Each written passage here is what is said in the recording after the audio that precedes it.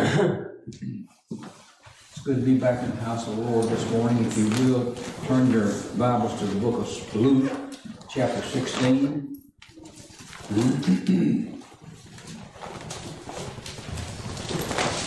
It's good to be back, uh, and uh, I tell you what, I was concerned mightily about uh, the services yesterday, the condition of the, the driveways and all this. And I'm just thankful this morning to the Lord that uh, He solved all of our problems and helped us with these things. Amen. Okay, we want to study some this morning about uh, a rich man and a poor man in Abraham's bosom. And uh, we would like to say this morning that uh, as as we as we teach, uh, there are so many out there that is watching this uh, besides us this morning, and we that are uh, full to the point that we we know what it what's going on. We need to rejoice in seeing those that are hungry fed. Amen. And this morning, I hope and pray to the Lord that I might be able to say something to someone somewhere in this world that would point them to the Lord Jesus Christ. Amen. And this morning, I pray that you'll pray with me as we study these uh, few verses that I've uh, chosen to read this morning. But in in the Luke's uh, gospel, in the 16th chapter and the 19th verse, there was a certain rich man which was clothed in purple and fine linen and fared sumptuously every day. And there was a certain beggar named Lazarus, which was laid at his gate full of sores, and desiring desiring to be fed with the crumbs which fell from the rich man's table. Moreover, the dogs came and licked his sores. Right. And it came to pass that the beggar died and was carried by the angels into Abraham's bosom. The rich man also died and was buried. And in hell he lifted up his eyes, being in torments, and seeing Abraham afar off, and Lazarus in his bosom, he cried and said, Father Abraham, have mercy on me and send Lazarus, that he may dip the tip of his finger in water and cool my tongue. I am in torments in this flame. So this is what we want to read, and we'll study a little bit more uh, in the lesson about what Abraham told him. But I would like to make uh, a few comments there about the rich man. Now, because that the rich man was rich, didn't send him to hell. Right. And because the poor man was poor, he didn't wind up in Abraham's bosom. Amen. Now, this morning, we as God's people uh, know about the worldly fruits and things of this world that so many times we get our eye on and we don't need it there. Right. Well, the rich man was in that condition. Mm-hmm. He had all that he needed. He was rich. But listen, he did not have enough time, enough love, or mercy to give Lazarus even a, a, a crumb or two to eat. And he most certainly didn't give him what he asked Abraham to send him with was a drop of water or two. So he could have given him some water and he could have given him some food. And this shows his character of what he was made out of, what how he thought, how what his desires was. And so with this we see that there was no love of God in his soul, Amen. in his in his spirit. So we see here that uh, another thing that that the riches of this world uh, are not God's blessings. Uh, Amen. The the the things that we get from this world, if God lets us have them to use them for uh, to better uh, other people and to help ourselves and to provide for ourselves. Listen, it's a blessing. But this man here did not use these things as a blessing from right. God. He used them because he had a stingy heart mm-hmm. and that he uh, he was faring sumptuously and he had no needs, but he did not want to share it with him. So we see the condition of the rich man, and also uh, that the, the, the, the poor man Lazarus didn't have uh, nothing. He didn't have a crumb to eat, a, a drink of water. He didn't have no nothing to rub on his sores, and I'm assuming that he had leprosy because of the saying that the dogs come and lick his sores. And so this morning he did not have nothing to ease that pain, and all that he had was the, the dog. And Right. we know this morning about the dog and how what the the how the Bible talks about the dog and how the Jew thought about the dog. And so this was his this was his uh, treatment for the only uh, mercy that he had in his body. And so we, we want to we want to see this morning that this this uh, uh, man he he laid at the gates of the rich man's uh, gate and begged. Now we, we see another thing in, in the Bible about Peter and about John when they were going up to the temple to pray. And the, the old beggar there asked John, or he asked them, said that he wanted some alms. Well, Peter said unto him, Silver and gold have I none, but such as I have give I unto you in the name of the Lord. This man here, this man here could have done something for that man that he didn't do. Now Peter and uh, Peter and John took him by the hand, raised him up, and he walked off. Amen. And this man here could have could have been a blessing to the rich man. The, the, the poor man could have been a, a blessing to the rich man by even sharing uh, some food. He could have watched him eat, and he could have been a blessing to the rich man by just letting him see him eat. But he chose not to do these things. And we this morning, as God's people, we sometimes get in our mind uh, uh, uh, things, and uh, we our heart gets a little bit uh, in the hard order. We need to be careful with these things, and uh, uh, you know, even even our our leaders in our country. Uh, we uh, sometimes see this on the news and see that on the news, and we say that old so and so and this old so and so, and you know, and he needs this and he needs that. Listen, I know what he needs. I know what they need. They need our prayers. They need our prayers, and they need our help, and and and and that and these prayers will help more than anything that we can do for them. So we need this morning to let our hearts go out to them because listen, one day, one day Jesus Christ dying on the cross of Calvary and shedding his blood for us, he looked back on us and he said uh, that he was dying for us and he was the he was the complete atonement for our sins and it hadn't been for him. We cou- we couldn't do anything. But anyway we, we want to see this morning again there, and there, there in verse 20. And there was a certain beggar named Lazarus, which was laid at the gate, full of sores, and desiring to be fed with the crumbs which fell from the rich man's table. Moreover, the dogs came and licked his sores. Now, this thing that, I, I'm so interested in this morning and, and want to, I'll share with everybody is, and I had an opportunity to be a witness to a, a Catholic uh, here a while back, and she told me she believes that even though she's don't know the Lord, she knows Jesus, but she don't know him either. Uh, that all will be well with her, and and when she dies, she is going to uh, have the help of the priest, or she's going to have the uh, the prayers of her loved ones to bring her to the point of salvation after death. Well, we know this morning that God's word does not teach that. Amen. But now listen, here's the thing of it is Lazarus, Lazarus, at that time, Jesus had not died. now, Abraham's bosom was down and was there, and that's where those that tried to keep the law and, and serve the Lord, that's where they went.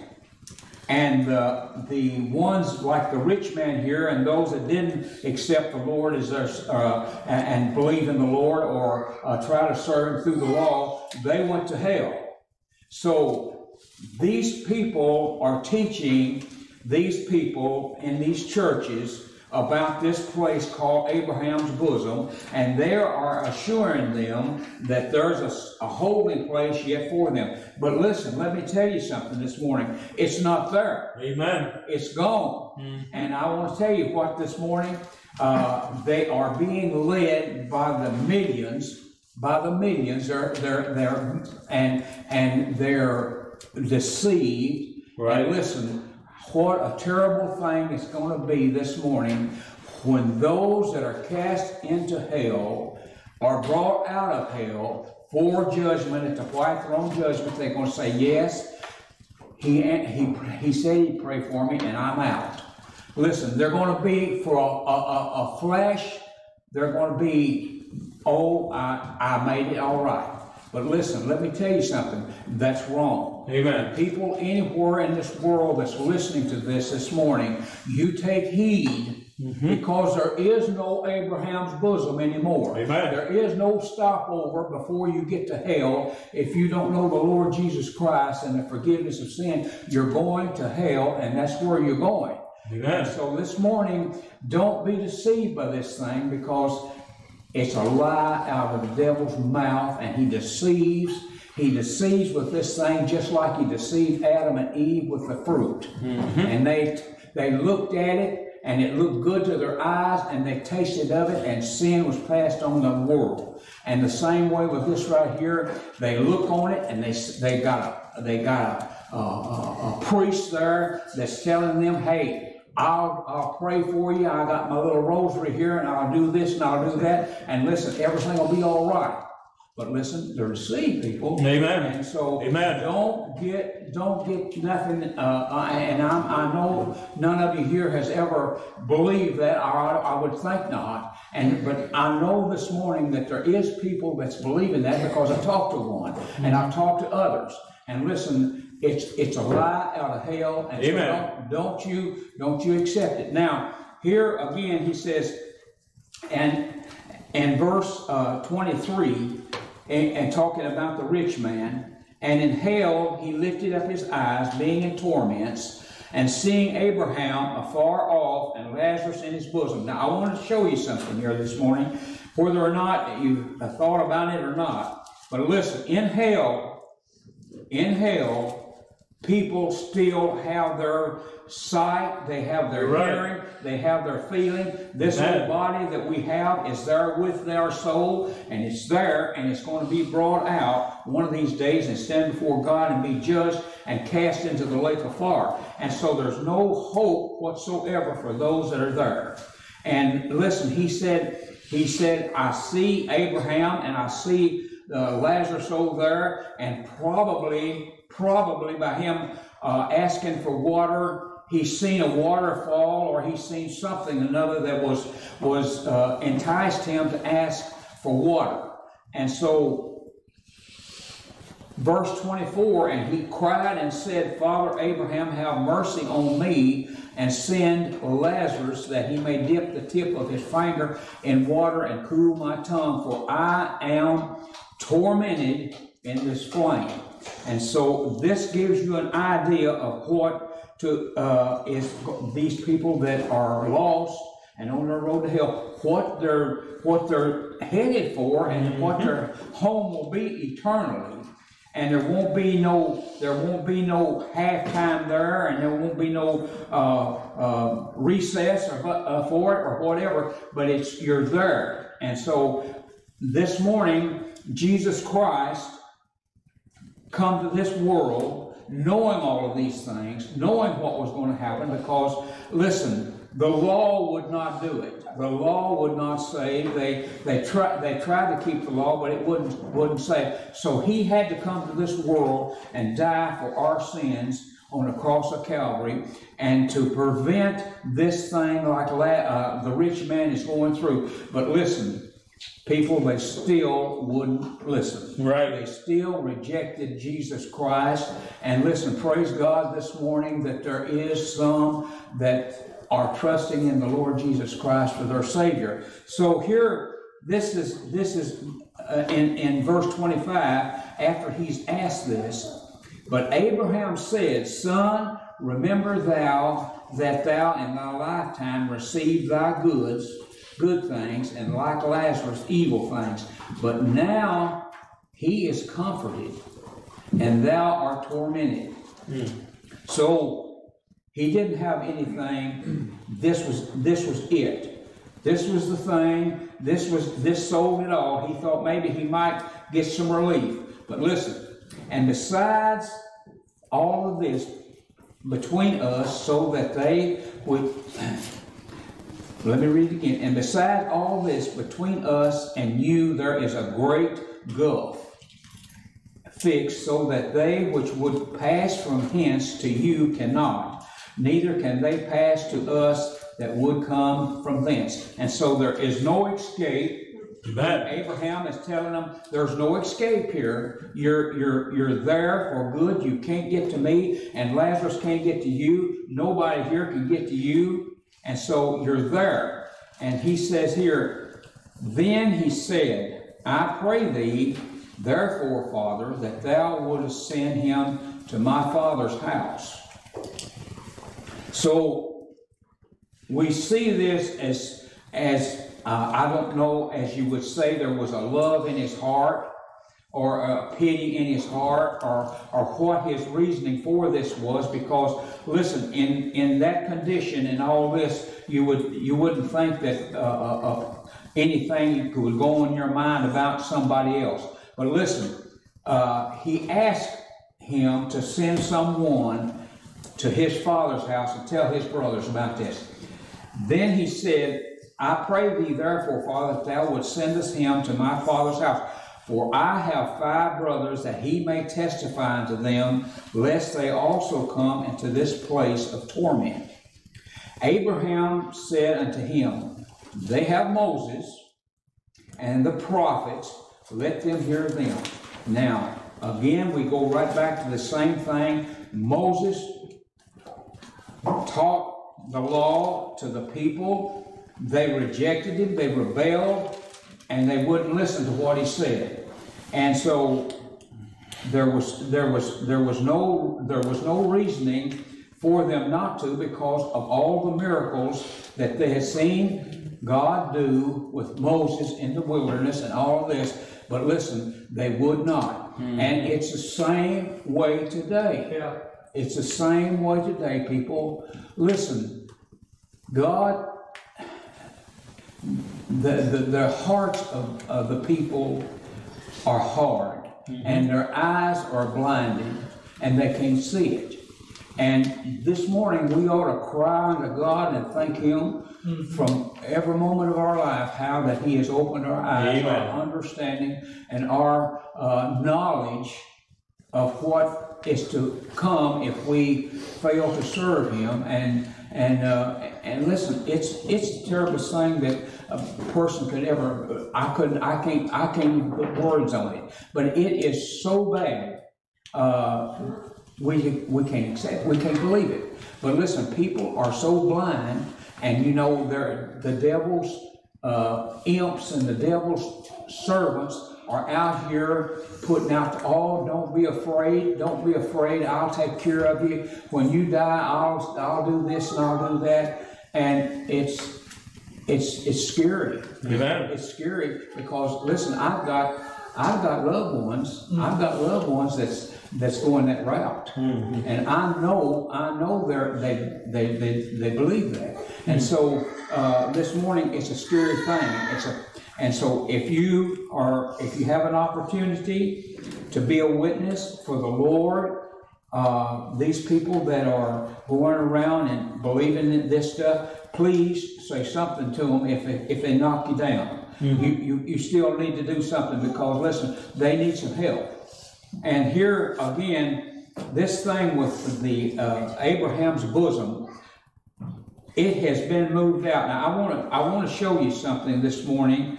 Uh, in uh, in Galatians, I believe it is. Let me look and see. That's in Ephesians, Ephesians four, and and this this this I read to you uh, is to me one of the things that I understand as Jesus Christ after his death, going to Abraham's bosom and preaching or telling them, I am the Christ. He had his glorified body on. They seen him.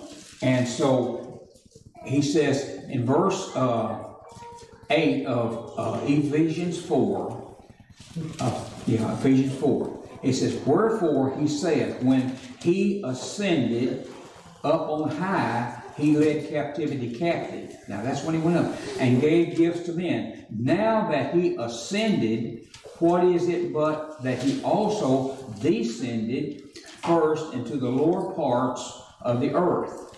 And so I know that that you can say that, that it's talking about when they put him in the tomb.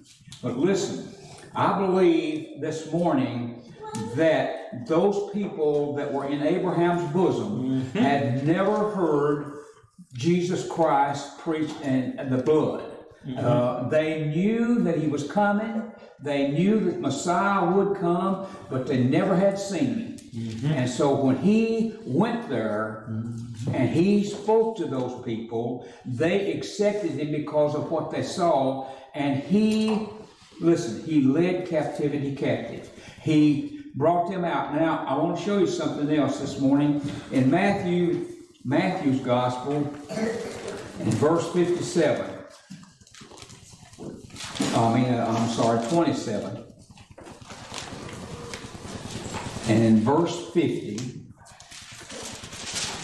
Matthew 27 50, Jesus then, when he had cried again with a loud voice, yielded up the ghost, and behold, the veil of the temple was rent in twain from the top to the bottom. This is talking about the coming down of the Lord, because uh, uh, it says it from the uh, top to the bottom. It's a type of when he comes to this world. And the earth did quake, and the rocks rent, and the graves were opened, and many bodies of the saints which slept arose.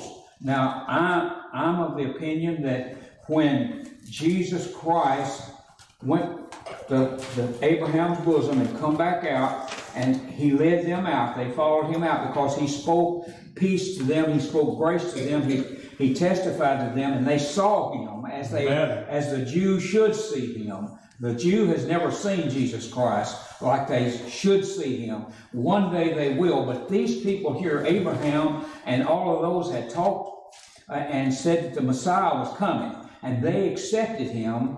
And listen, he led them out, and as he led them out, listen, some of them was out there uh, and, and witnessing to people because, listen, uh, and in verse 52, uh, and the graves were open, and many bodies of the saints which slept arose and came out of the graves after his resurrection and went into the holy cities and appeared to many. And so these people that come out of Abraham's bosom come out, and some of them before he ascended uh, and before they ascended, went and witnessed to people. And so uh, uh, this is this is my way of looking at this thing, and uh, and I, I hope that I uh, I don't mislead anybody, but I think that this is what happened, and. Uh, and, the, and, the, and, and came out of the graves after his resurrection and went unto the holy cities and appeared to many. So this here again is what, what I want you to see. Once this happened, this Abraham's bosom closed the gap, closed the gulf. There was no more Abraham's bosom. Right. Now, this is Amen. why I see the, these people worshiping this thing, this halfway point. Listen, this done away with it. Mm-hmm. Now, Isaiah speaks in his uh, writings in, uh, in chapter 5, I believe it is, that hell has enlarged itself. Mm-hmm. Now, this morning, that is one of the ways that I could I can reason within myself how that hell has enlarged itself. Mm-hmm. Now I know also that there's more in there now than there was a hundred years ago. Right. I know they're going there. Amen. But still, all in all, there is no more Abraham's bosom. Amen. It's all dried up. Uh, it's just part of hell anymore. So listen, these people that are planning on stopping over, forget it. Amen. It's not there. Amen. And I want, I want everybody to know that this morning because, listen, that's, this little thing right here and that teaching that they're teaching, it, it is going to cause hell to be full. And, and so this is, this is the, one of the things that was so important about this lesson. Now, notice here back in our lesson now. And he, he's telling about this gulf when he asked him if he could go or come. And he said, Beside all this between us and you, there is a great gulf fixed, so that they which would pass from thence to you cannot, neither can they pass to us that would come from thence. Then he said, I pray thee, therefore, Father, that thou shouldest send him to my father's house. And so, again, this morning, we, we want to emphasize this point. Uh, Abraham, Abraham said, No, no. If they won't believe Moses, if they won't believe Moses, and what Moses told them, and Moses was up on the mountain, he brought the Ten Commandments down, he heard it out of God's mouth, he was, he was, he was a man of God. And they would not believe him, and they, they seen all of these things in the wilderness, and the, and the rock, water coming out of the rock, and, and all of this, and they wouldn't believe it, and so, Right. hey, uh, he said if they don't believe that, they won't believe. If you go back and tell them, hey, I seen your brother down there in hell, they, ha, ha, he's not there. But listen, that's that's that's that's the sad part about it is this morning. So uh, here again, and he said unto them, If they hear not Moses and the prophets, neither will they be persuaded, though one rose from the dead. And listen this morning, people. One did rise from the dead, Amen.